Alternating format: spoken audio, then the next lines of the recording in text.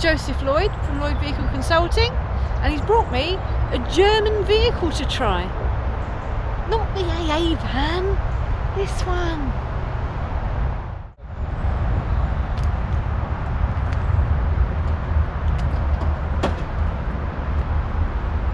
Oh, and I need to find the keys. Oh, I think it's one of these funny cars again. It just unlocks when you touch the handle. Strange. Still can't get the hang of that. Right, so this is a Mercedes C200 from 2017. It's got a 2 litre petrol engine with a 9 speed automatic gearbox. But that's not the gear selector. as I once thought it was. I violently grabbed that trying to change gear. Um, this is the gear selector. This little stick. And you press that to put it into park. It's all electronic. Kind of looks like Roland Rat. right, let's get the keys off Joseph. I haven't got any pockets today, hence why Joseph is the holder of the keys. Now, I am absolutely miles away from the pedals and it's got electric seats on the door. So we'll just turn it on.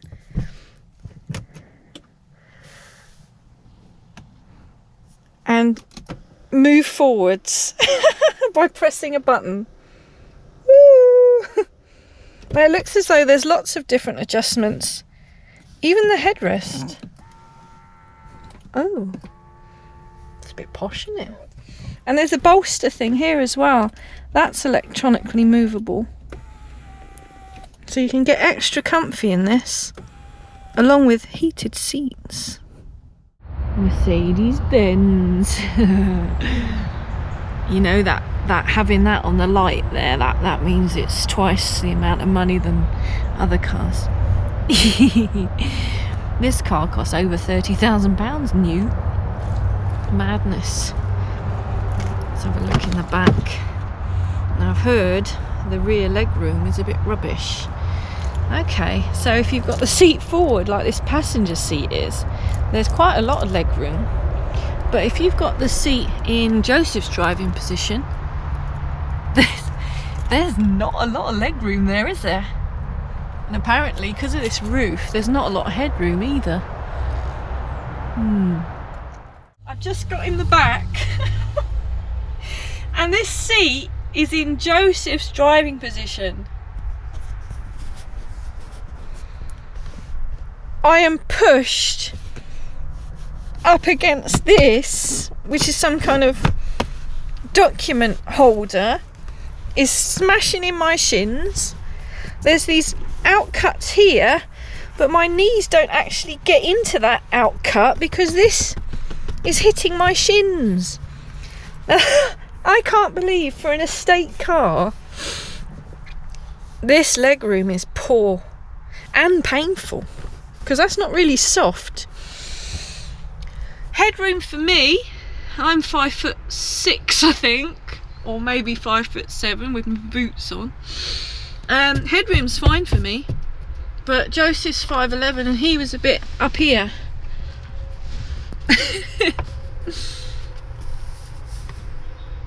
the roof's interesting. There's no control for the passenger in the rear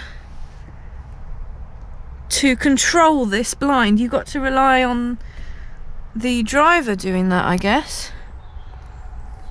Hmm.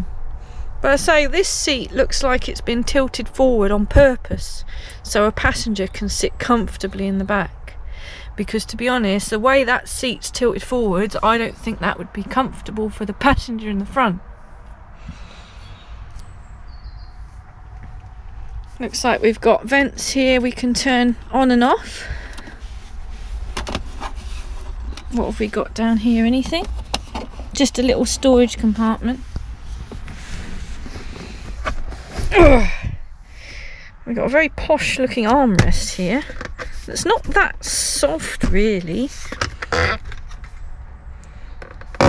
Hmm. Creaky. Oh, I see. That's your cup holder, which is a bit, it's a bit clumsy. But I guess it works if you've got a cup. One on each side. And this isn't real leather, it's Artico leather, I think they call it. Uh, it's like vinyl, but probably less painful in the summer.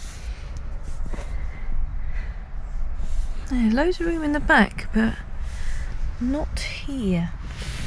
Hmm. One thing I do like about Mercedes is they've normally got this function.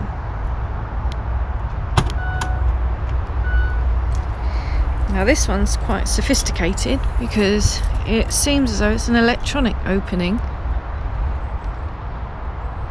It could just be the movement of the struts making it come up almost robotically. But then if we look, it has got the button to close it. Now you see my dad's got a 1998, or it was actually mine, but I sold it to him.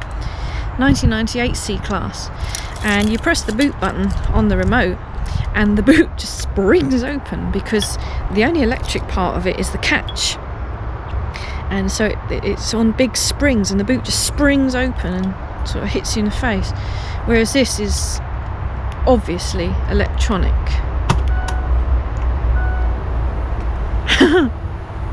which is quite nifty plenty of boot space. Joseph's got all his luggage in here today. And this weird thing here. Oh, so you can pull that back, have it there, or you can weirdly have it there. I've not seen that before. Very strange.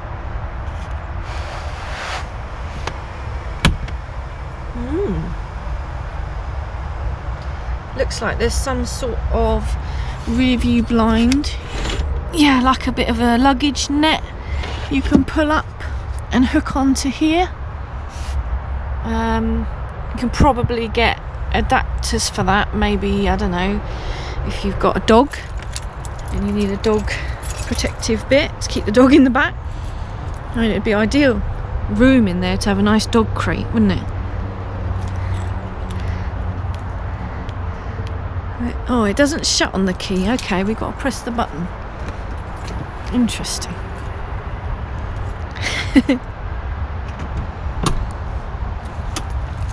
it's got parking sensors on the rear and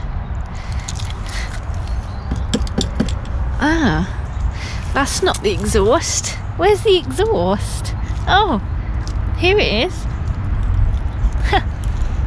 completely obscured. Is there a camera at the back? Can't see one.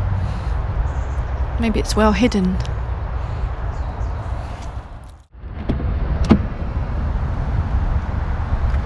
Lots of legroom for the front passenger and electric seats. Memory electric seats for the passenger. I've not seen that before and a heated seat function. I wonder what this blanking plate's for.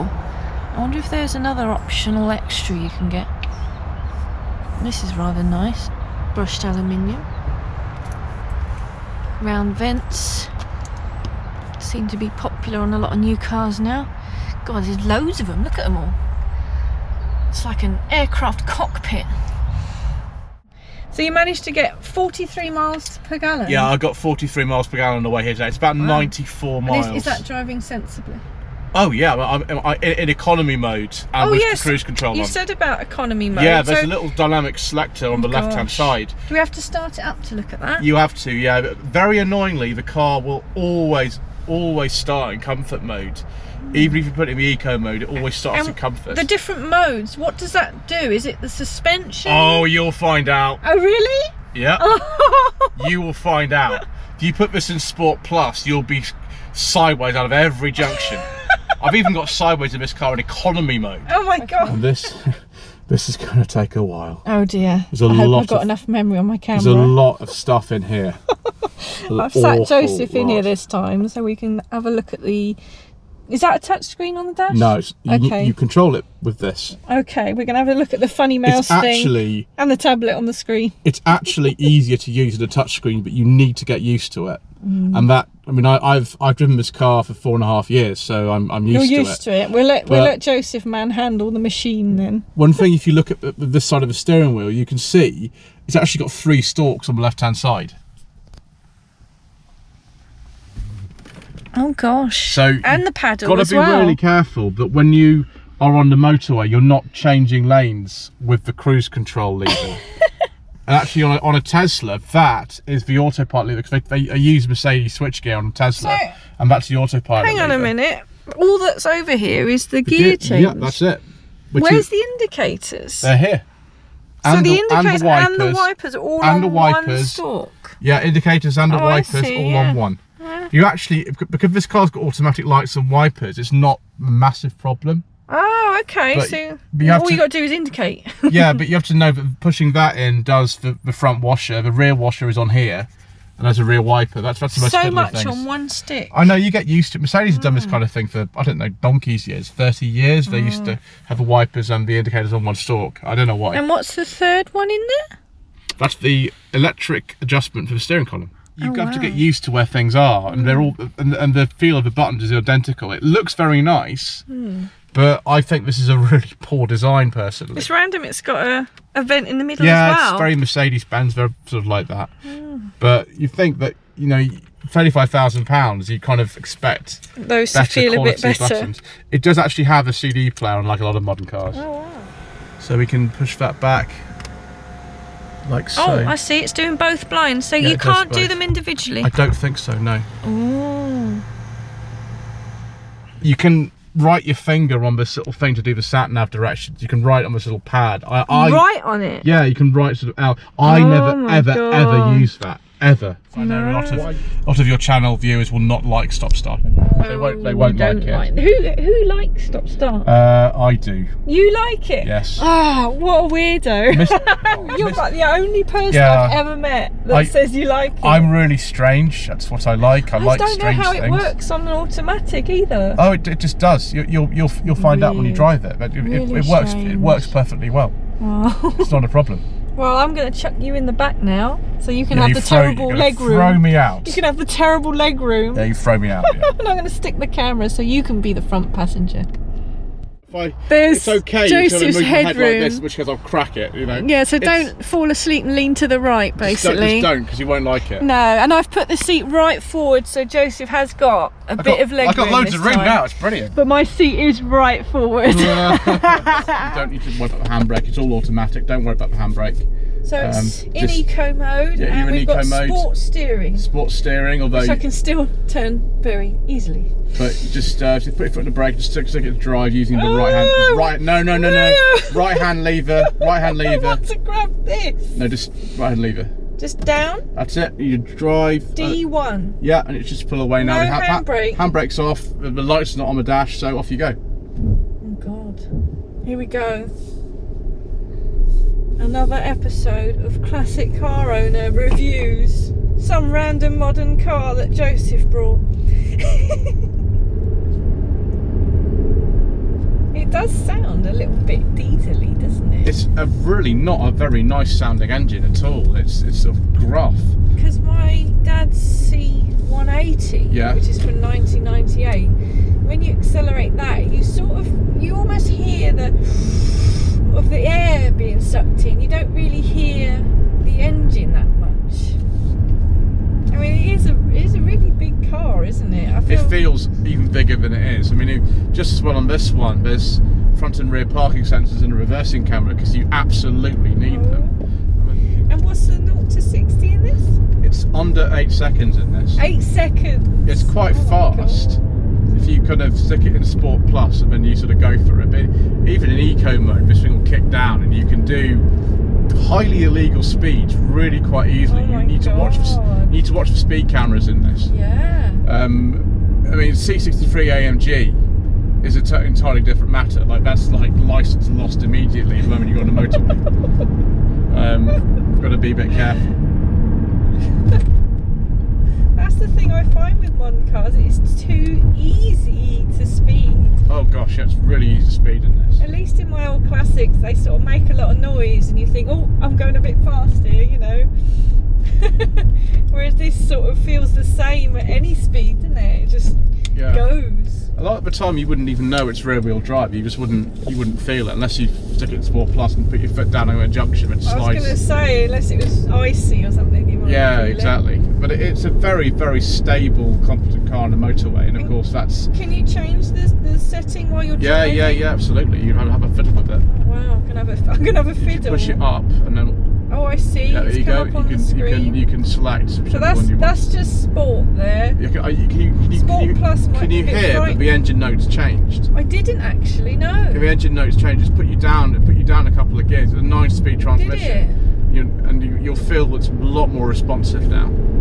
I won't go over this bump too fast, but No, you there's a 40. do that. There's a 40 limit here, so we might get away with uh, putting the foot down a little bit. Now, now some of these have adaptive suspension. This one doesn't. But Okay. if you if you played with the uh, That's what I thought the comfort thing was, and that I thought it might have been. no, you, there's no adaptive, adaptive suspension in this one. That was on some of the other models. Not, you don't need something like that, do you? I mean, it's to be, to Right, we're on sport mode now. I'm not going to go too mad turning because I don't want to kill us, but well, you can feel it, yeah. You're even Sport oh Plus, my yeah. god, that was just sport. That was That wasn't Sport Plus. Jesus. I told you. the needle just went to 40 straight away, and I had to back off. yeah. Try Sport oh plus. then. Oh my god, I will in a minute. Suffice it to say, if you want to go out of a junction, wow. you you just can. You put it in Sport or Sport Plus. Now I You might know, go you might go sideways slightly, but traction control will stop you. Now I know why people say that things like my Rover's slow. because if oh, things Oh, like this are out there, This is this is Oh the C200. This isn't even there's like C250, C C300, you know, nothing like that.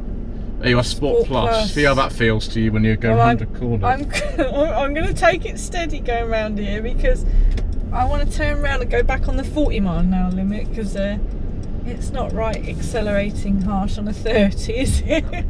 right, well, we'll just go slowly around Got the bit corner of Sport Plus coming up. because we're going to go out, out the back of this Nissan otherwise, aren't we? Right. Wow! it's like driving a go kart. Formula One. If you're only in third gear out of nine at 40 miles an hour. If you if you flick that back into economy mode, it'll probably take Drop you to right sixth down. gear. Just put it down to eco. You're in four. Yeah, Four. it just and then it's this. You can't even feel the changes Five. most of the time. There you go. Five.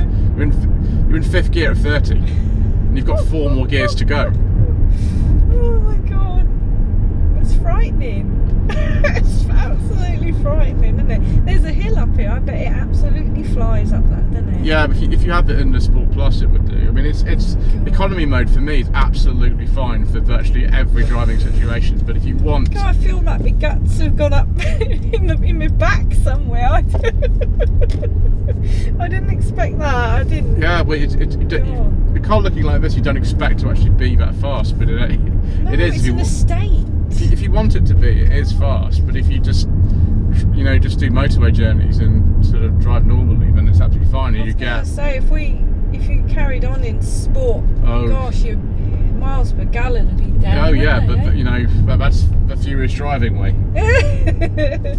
There is actually a manual mode for the transmission. There's two little there's two little paddles um, behind the um, behind the, the steering wheel. so can you just use you, you those can now? use yeah, you can use those to oh, change gear. M M3. Yeah, manual three, your manual three, yeah, and you can M4, change. Yeah. but you can't feel the change. I know, You've that's- got that's- to rely on the yeah, yeah. display, really. When you, it's I I don't you ever ever use that. I never use that. and if you want to put it back into automatic, uh, just you push do? D down again. It will. There you go. Yeah. It's done it now. There you go.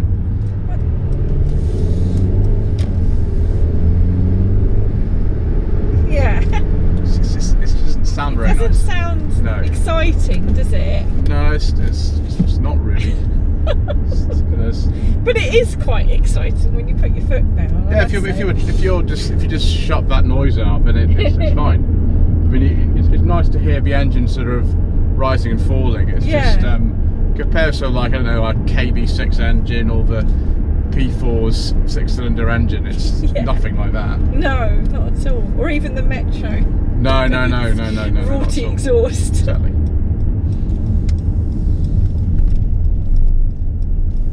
Right, we'll go back and we'll pop the bonnet and have a look to see what is under there. Probably just a load of plastic covers, I'd imagine. Yeah, there's lots of plastic covers in this. We'll have a look though.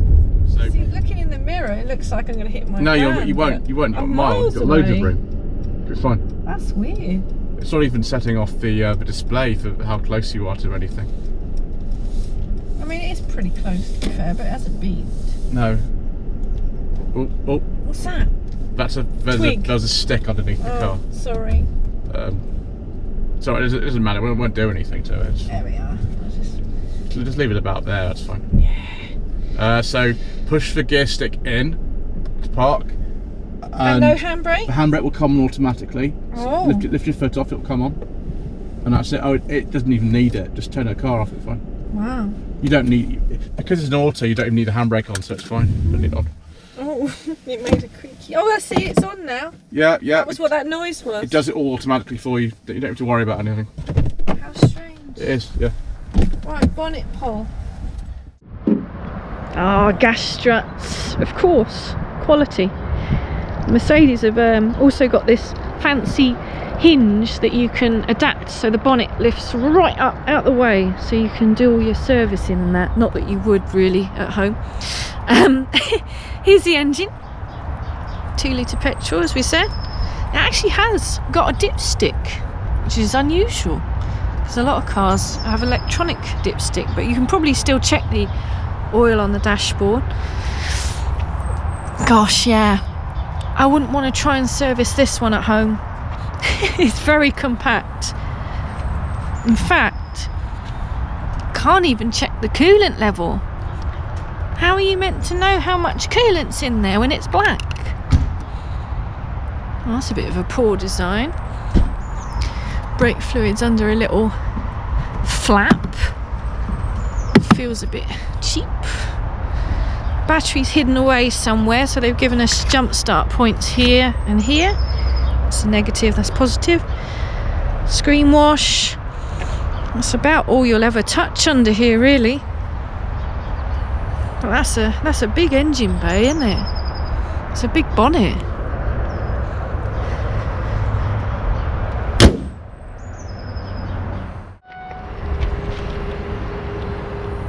Well, I didn't realise that that Yeah. Actually moves with the bonnet. And look, The bonnet, the light- boot. lights here as well. So it lights, and all the lights in here will light up as well. It's really, it's really nice. Actually. Oh, cool. But of course, it's um, Yeah.